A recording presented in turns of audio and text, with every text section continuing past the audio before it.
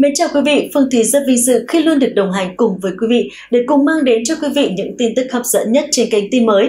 Bản tin cập nhật những tin tức nóng nhất, mới nhất, chính xác nhất về tình hình an ninh trật tự xã hội đã diễn ra trong ngày. Và ngay sau đây là những tin chính.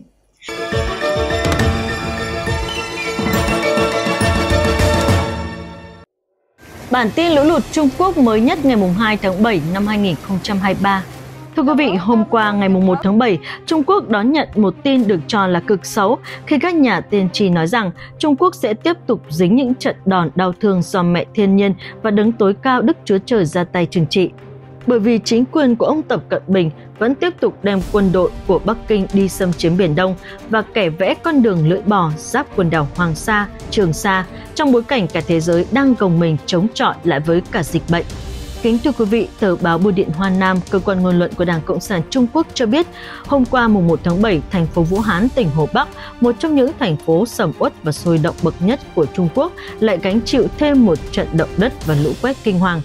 Nơi đây đã từng xảy ra dịch bệnh COVID-19 đầu tiên trên thế giới vào khoảng tháng 12 năm 2019 còn nhớ vào cuối năm ngoái, khi mà dịch bệnh COVID-19 bùng phát ở thành phố Vũ Hán, nhà nước Trung Quốc đã bưng bít thông tin này cho quốc tế biết và chỉ hai tháng sau, thành phố Vũ Hán, tỉnh Hồ Bắc không khác gì một thành phố ma.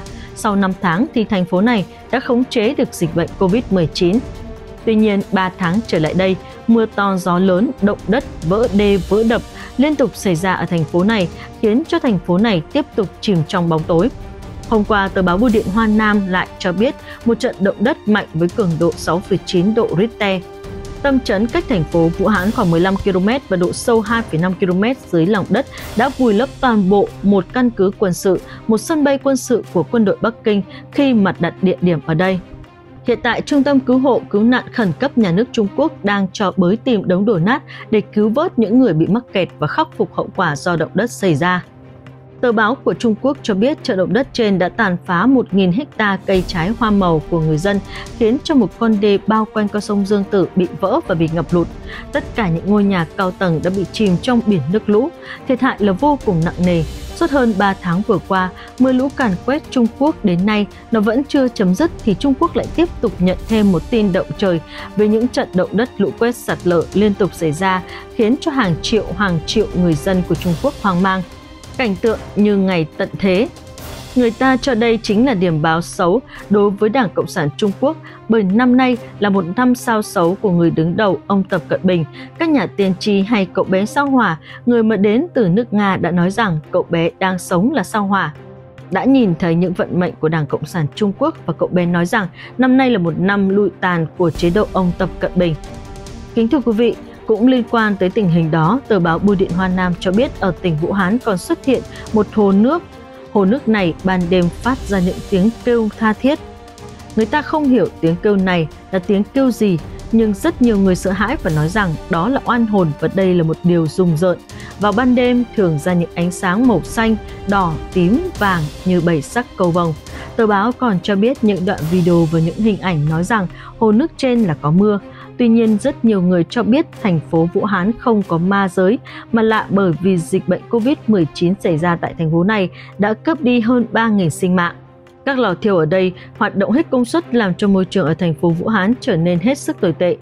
Ngày trước, thành phố Vũ Hán chưa có dịch COVID-19 được cho là một thành phố sôi động nhộn nhịp cả về kinh tế, chính trị, xã hội. Trung Quốc rất tự hào khi có thành phố Vũ Hán chứa con sông Dương Tử và con đập Tam Hiệp nhưng ngày nay nó đang trở thành thành phố ma. Chúng tôi đã có một lần tới thăm con đập Tam Hiệp ở thành phố Vũ Hán. Chúng tôi biết rằng đây là một thành phố hết sức hiện đại.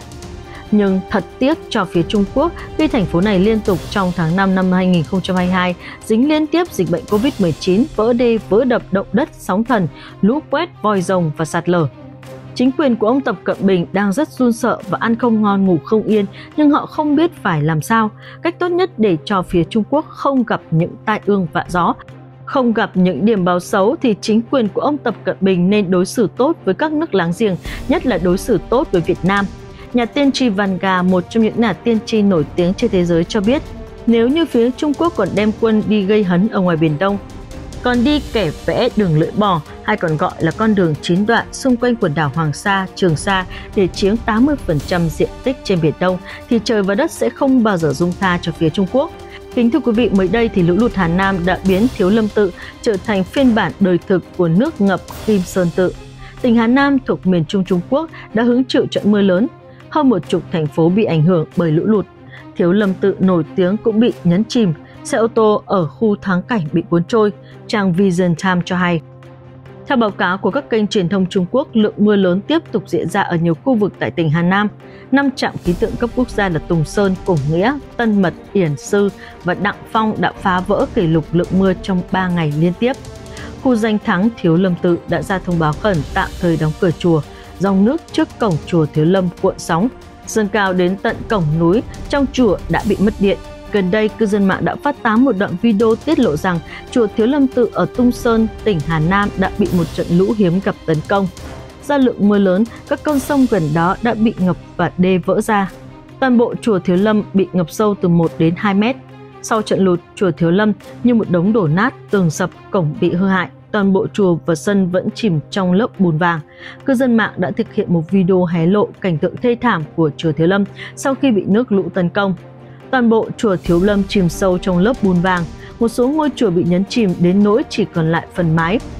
Thậm chí có những nhà sập hoàn toàn, cổng lớn trong sân bị hỏng, mặt đất sụt lún, nghiêng ngả như sắp đổ. Sau khi chùa Thiếu Lâm tự bị lũ xói mòn cảnh tượng khủng khiếp đến khó tin, mọi người bật khóc đặt câu hỏi về số tiền nhang khói hàng trăm triệu nhân dân tệ của Thiếu Lâm Tự mỗi năm đã đi về đâu, các kênh truyền thông Trung Quốc từng tiết lộ trụ trì Thích Vĩnh Tín của chùa Thiếu Lâm Tự đã thương mại hóa ngôi chùa ngang nhiên kiếm bộ tiền. Theo thống kê, khoảng năm 2018, lượng khách đến chùa Thiếu Lâm đạt gần 2 triệu lượt, tính với giá vé 80 tệ khoảng 280.000 đồng Việt Nam một người, thì trong một năm, chỉ riêng chùa Thiếu Lâm Tự đã thu được 150 triệu tệ khoảng 523 tỷ Việt Nam đồng. Trước những nghi vấn trên, trụ trì Thích Vĩnh Tín từng giải thích với công chúng phần lớn số tiền quyên góp đều được dùng để sửa chữa và bảo trì của ngôi chùa. Nhưng liệu số tiền quyên góp đó có thực sự được sử dụng để sửa chữa ngôi chùa hay không? Ngay từ vài năm trước, một số cư dân mạng đã rộ lên thông tin rằng trụ trì Thích Vĩnh Tín có một chuỗi tràng hạt bằng gỗ trinh nam nạm vàng trong số đồ đạc cá nhân của mình. Gỗ của cây trinh nam vốn rất đắt đỏ. Vào thời điểm đó, trị giá của chuỗi tràng hạt không dưới chục triệu tệ và được ca ngợi là một trong những chuỗi tràng hạt đắt đỏ nhất thế giới. Năm 2013, trụ trì Thích Vĩnh Tín cũng bị tiết lộ sở hữu một chiếc xe hơi Audi Q7 hạng sang. Năm 2015, một bức thư tố cáo trụ trì Thích Vĩnh Tín của chùa Thiếu Lâm đã xuất hiện trên Internet. Bài đăng đã trích dẫn một lượng lớn bằng chứng tố cáo các vấn đề đời tư của trụ trì Thích Vĩnh Tín như có vợ, nhiều tình nhân và con gái. Bài đăng cũng cáo buộc rằng trụ trì Thích Vĩnh Tín có hai thẻ căn cước, một thẻ sử dụng tên Thích Vĩnh Tín và thẻ còn lại sử dụng tên gốc của ông là Lưu Ứng Thành. Sau khi vụ bê bối trên của trụ trì Thích Vĩnh Tín bị phanh phui, truyền thông đại lục lại một lần nữa tiết lộ nội tình câu chuyện thương mại hóa ngôi chùa để kiếm tiền trục lợi. Theo báo cáo, trụ trì Thích Vĩnh Tín nắm giữ 80% cổ phần của công ty tài sản quan trọng nhất của Thiếu Lâm Tự và còn sở hữu cổ phần của 7 công ty con khác. Ông Triệu Phác Sơ, Chủ tịch Hiệp hội Phật giáo Cộng sản Trung Quốc, được thăng chức chủ trì của chùa Thiếu Lâm vào năm 1999. Ông đã giữ chức vụ trụ trì của ngôi chùa này trong 22 năm. Theo chỉ lệnh của ông Triệu Phác Sơ, ông Thích Vĩnh Tín thành lập Học viện Tư pháp và tranh Thiếu Lâm và công ty điện ảnh và truyền hình Thiếu Lâm tự với danh nghĩa thúc đẩy nghiên cứu văn hóa chùa Thiếu Lâm. Ông đã được Đảng Cộng sản Trung Quốc trao tặng danh hiệu chính thức là Phó Chủ tịch Hiệp hội Phật giáo Trung Quốc kiêm Chủ tịch Hiệp hội Phật giáo Việt Nam. Ông Thích Vĩnh Tín từng là phó đại biểu của Đại hội đại biểu nhân dân của Đảng Cộng sản Trung Quốc trong nhiều nhiệm kỳ liên tiếp